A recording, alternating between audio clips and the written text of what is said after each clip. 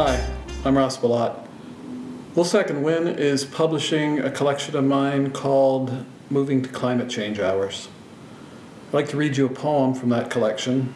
It's the first one in the book. Its name is First Day. Gulf Oil Refinery, Clarkson, Ontario, 1979. Two men blinded by hydrofluoric acid yesterday. The skin of one absorbed acid and it ate his bones. He died this morning.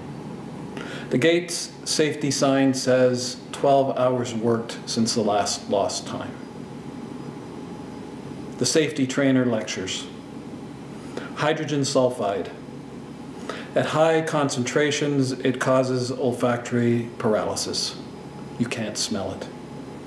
Then you fall down unconscious, and next you die.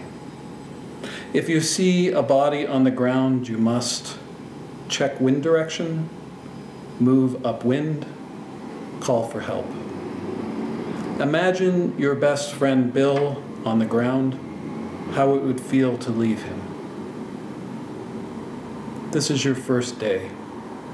Wear work boots, learn work rules, get the paycheck, go home to Shelley, pregnant with Neil, looking after little Heather. Do the right thing. Be a good boy. Come home safe 10,000 more times.